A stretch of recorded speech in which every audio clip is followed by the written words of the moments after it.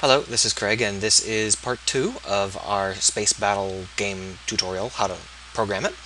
We're going to do particle effects this episode.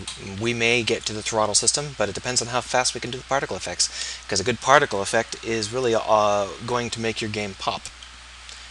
So first step is to import the standard asset particles, and these are available for free. So just go ahead and import them, and don't underestimate these particles. Uh, if they had a jet, I would be using it. They don't. This is the closest thing they've got, a flame. Unfortunately, it's not anywhere even vaguely like what we need. Um, it just kind of is vaguely similar, I guess. We could try and adjust the flame so that it fits our need, uh, but actually that's not going to work because a jet has a very short lifetime particle, whereas a flame has a very long lifetime particle. So we're going to delete that. And we're going to create our own. So one of the tricks to particle system is, is understanding that generally speaking you're going to put them out in pairs. So this one is going to be our primary jet. And it's just going to be the blue part, you know, the part where it's um, uh, going to be looking like an actual flame of jet. So uh, we need to adjust the emission shape so that it is, uh, you know, something like this but we're going to drag it to the back of the ship and we're going to start to adjust these stats so that they make sense. So as I said, the jet is a very low lifetime, high speed particle.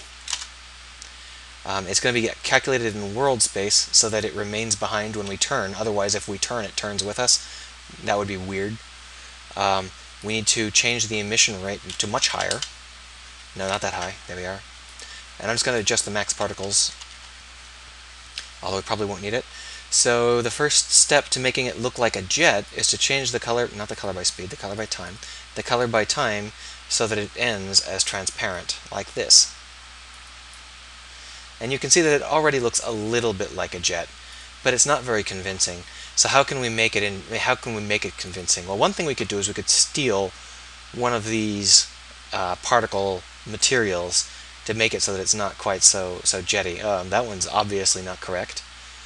Um, that one's kind of interesting. Actually, that one might work just fine. Um, which one was that? That was Sparkles 1. We're going to use our rainbow sparkles. But they're not going to be rainbow. They're just going to be, I guess, yellow. There we go. All right. Um, so how does that look in actual play? That looks pretty good, but we're going to need another one. So just duplicate that, and we'll call it secondary jet. And this one is going to be the uh, um, the little brother that just gives us the sharper uh, uh, punch. It gives us it gives us the the core, and then you've got the surrounding not so core elements. Um, so we actually need them to be the same. Due to the fact that we're going to be traveling at high speeds, we actually do need to have them at the same start speed, um, which is something I keep forgetting. Uh, but we can have them with different lifetimes and different sizes. So let's go ahead and change this one to a different size. But now it's completely overwhelming our base jet, which is fine. We'll just go ahead and change the material to something neutral like dust. And we'll change this to be white. So now it works, but it's completely obscuring our core stream. Uh, now there are lots of ways to make it so it doesn't completely obscure the core stream. Um, and one of the basic ways is to change it so that the particle effects don't interfere with each other. Uh, but in this case, what we're going to do is we're going to have a look and see how it plays in the game itself. And you can see that the that the uh, uh, how it looked in the actual uh, scene view is not how it looks when it's actually running. When it's actually running, they shine through each other just fine. But this is not a very good smoke effect because it's always the same size. So let's change the size over lifetime. This is a simple graph that you can adjust to be however adjust adjust to be however you'd like. Uh, let's go ahead and make it like this, and you can see that we now have something like particles, but we don't want to start it at zero. Let's start it like like this. Let's actually give it a big hump. So move this down here and put one here. I just double clicked to add a new spot. There we are.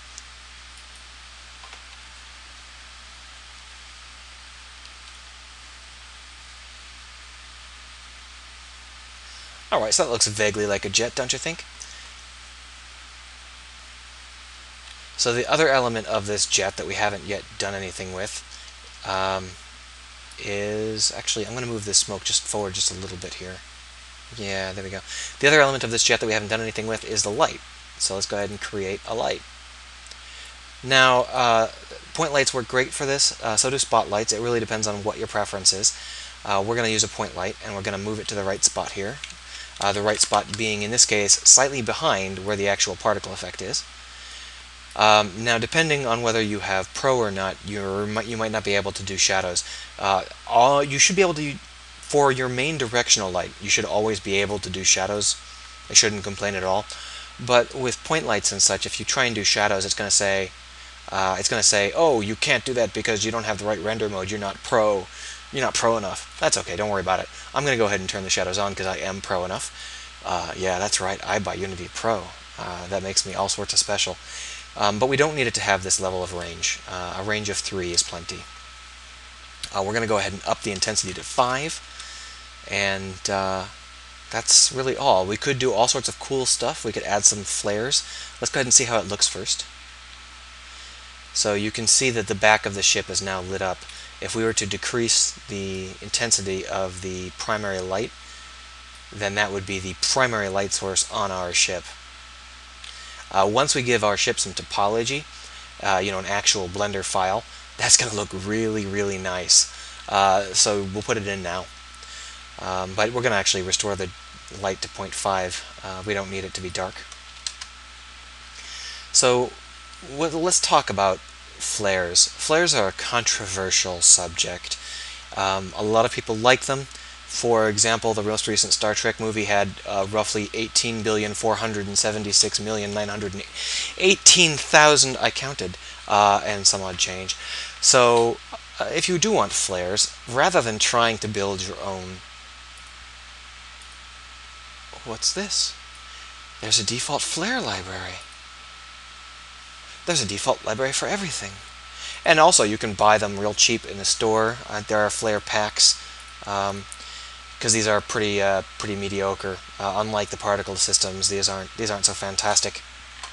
But let's go ahead and just drag a small flare on, see how that looks when we hit play. So I can't even see it. Did I screw this up? I may have screwed it up.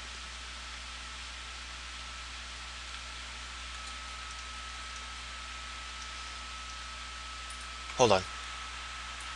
Well, yeah, I screwed it up. That's the directional light.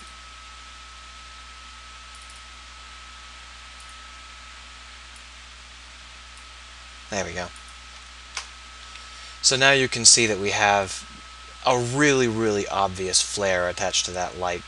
And we may actually want to move that light closer to the ship if we're going to be using these flares.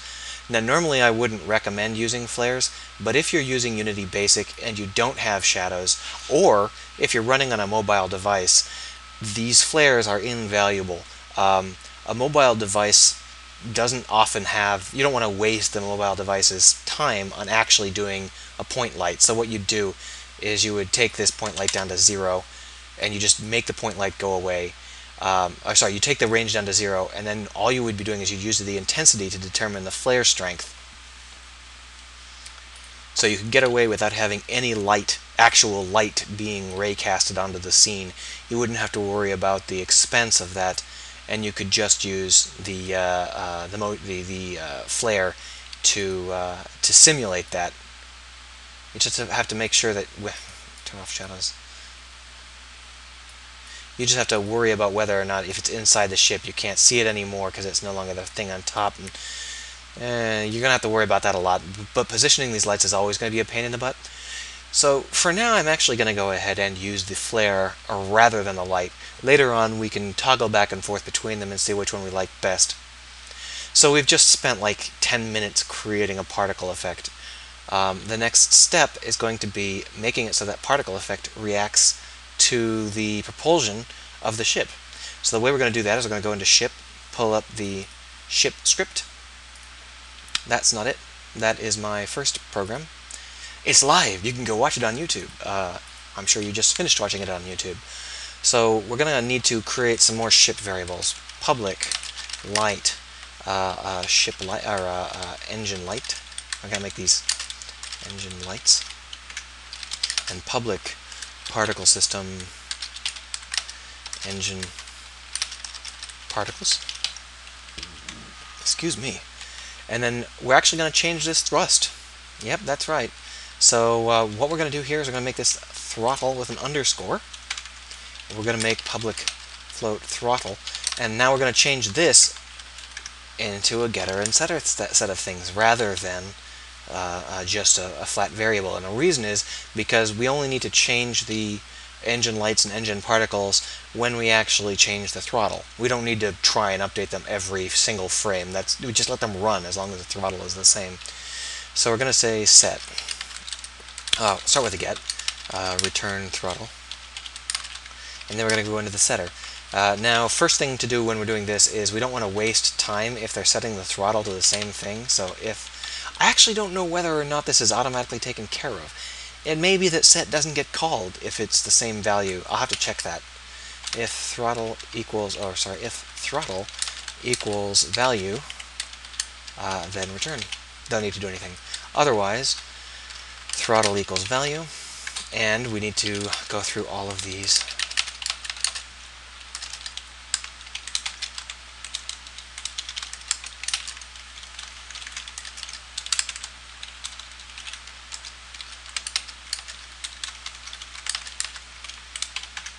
like so. And then down here,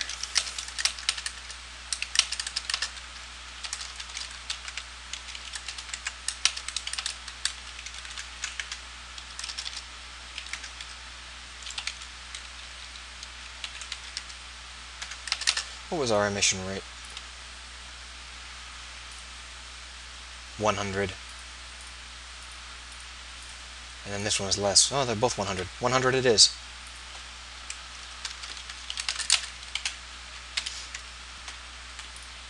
Alright, so when we actually start up, we're going to go ahead and say that throttle equals uh, well, throttle is value than our return, so that's not going to work now, is it? Um, we'll just go ahead and say that throttle equals negative 1, and then we'll say, uh, this is really clunky, I don't want to do it like that. I've forgotten that in order to initialize throttle, we need to, let's go ahead and, uh, make this protected. Due to the complexities of whether or not you can set it in the in the scene editor and all sorts of other stuff, um, it's annoying to have to deal with that initial boot up, but that's okay. Um, I'm sure there is a way to make the setter run, uh, but I don't happen to know it off, off the top of my head. So I forgot to actually put them in, didn't I? So our engine light and then our engine particles. And then hit play. So how is that, huh?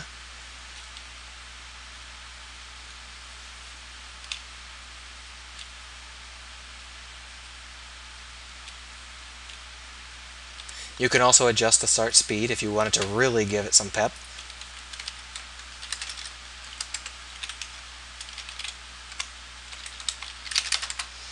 Current start speed is 10.